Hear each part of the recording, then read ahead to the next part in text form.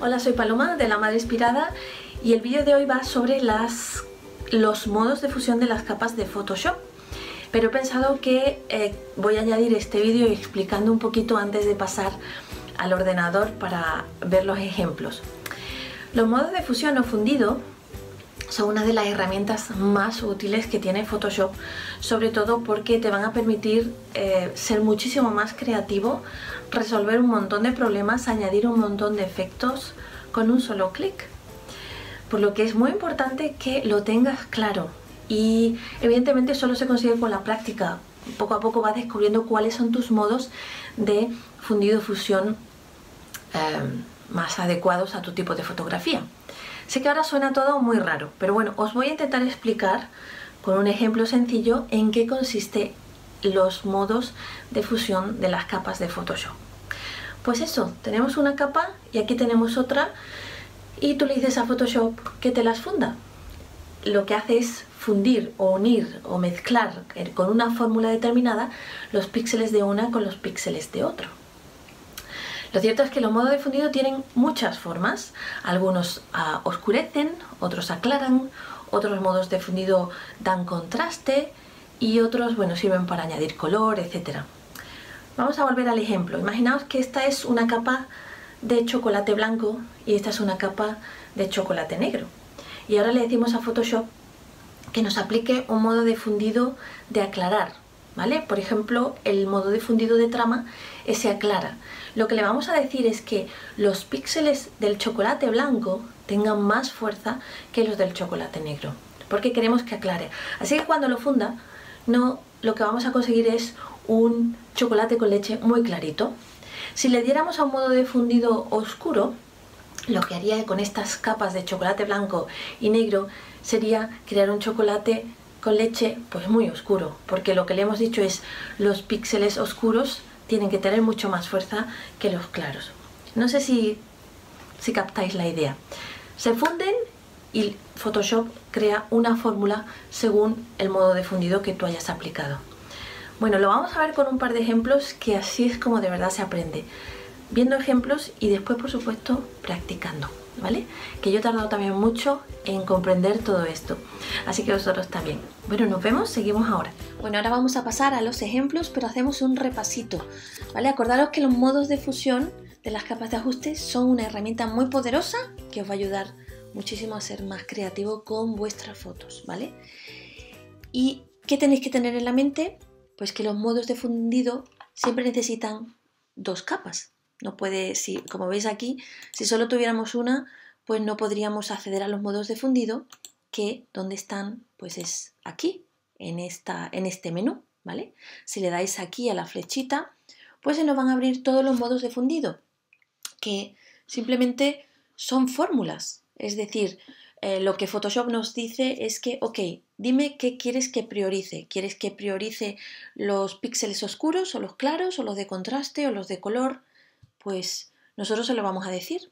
Vamos a usar mejor este ejemplo. Tengo aquí eh, esta foto y esta capa, ¿vale?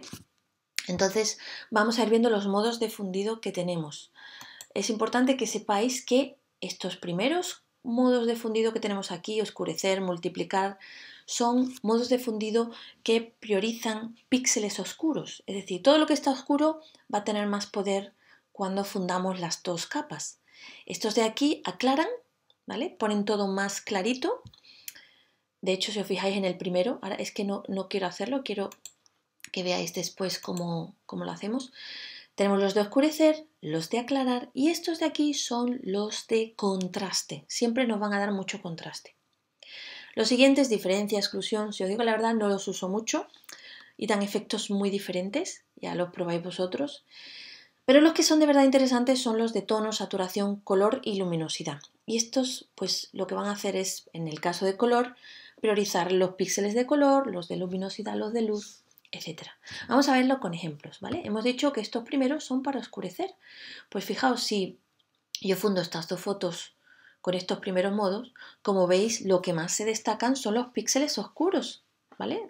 precisamente de esta foto. Entonces, según el modo que yo le ponga, Photoshop va haciendo una fórmula y me da un efecto determinado. Yo puedo, si quiero, bajar el efecto con la opacidad e incluso crearle una máscara de capa, ya sabéis, para después borrar o hacer lo que yo quiera. ¿De acuerdo? Entonces, estos primeros oscurecen. Estos hemos dicho que aclaran. Aquí, como veis, lo que tiene poder son los píxeles blancos. Así que la foto de abajo que tiene más blanco es la que está teniendo más fuerza sobre la otra. Y el efecto pues es totalmente diferente. Ya es una cuestión de que lo vayáis viendo. A ver qué queréis vosotros, qué efecto queréis dar. Pasamos a lo siguiente, que son los de contraste, pero que también dan efectos muy bonitos, pero lo vamos a ver mejor, que es cómo se usa con una copia. Yo tengo aquí esta copia y como veis, si no la señalo, no me va a salir el modo de fundido. Siempre hay que señalarla porque decirle quiero que me fundas esta con esta. Bueno, pues por ejemplo, si le damos a luz suave, lo que nos crea es mucho contraste a superponer. Vamos a poner luz fuerte para que veáis la diferencia. ¿Veis? Me ha añadido mucho contraste. A mí me gusta mucho el de luz suave porque ayuda, por ejemplo, al pelo. Imaginaos que yo quiero eh, simplemente darle mucha fuerza al pelo, pues creo una máscara de capa y ahora con un pincel blanco lo saco. ¿Ya veis cómo con solo esto, con el modo de fundido de luz suave, se ha conseguido dar muchísimo contraste. A lo mejor también quiero dárselo a los ojos, aquí, ok. Ya veis cómo la foto ha cambiado con el modo de fundido de contraste, de luz suave. ¿Vale? Lo que tenéis que ir averiguando qué modo de fundido os viene bien. Otro ejemplo, bueno, creamos una capa vacía y ya hemos dicho, estos oscurecen, estos aclaran, estos dan contraste, es decir, lo que hacen es priorizar los píxeles de contraste o, bueno, cual sea la fórmula, y dan un efecto determinado. Después tenemos aquí estos de tono, saturación y unos que se usan mucho, el de color y luminosidad. Fijaos, yo tengo aquí esta chica que la foto, como veis, eh, esta parte de, de, la foto está demasiado clara. Bueno, pues uy, yo lo que voy a hacer es pintar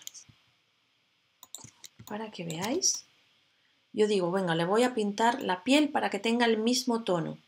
Como veis está quedando muy mal, pero no me preocupa porque yo ahora cojo y le pongo el modo de fundido de color y lo que le digo a Photoshop es fúndeme esta capa de pintura con esta foto y solo el color y como veis la textura ha quedado y mirad la diferencia.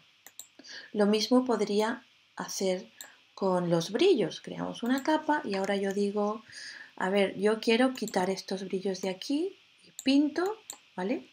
Pero como veis me está pintando sobre la piel y ahora digo, lo pongo en luminosidad porque solo quiero que me afecte a los píxeles de luz y es una forma de resolver los brillos. Bueno, como veis, los modos de fundido son muy, muy útiles.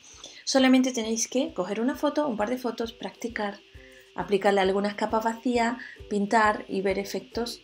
Estoy segura de que en cuestión de unos días vais a ser, bueno, vais a tener el control sobre los modos de fundido. Que lo disfrutéis y que tengáis un verano estupendo. Nos vemos en el siguiente vídeo de La Madre Inspirada. ¡Chao!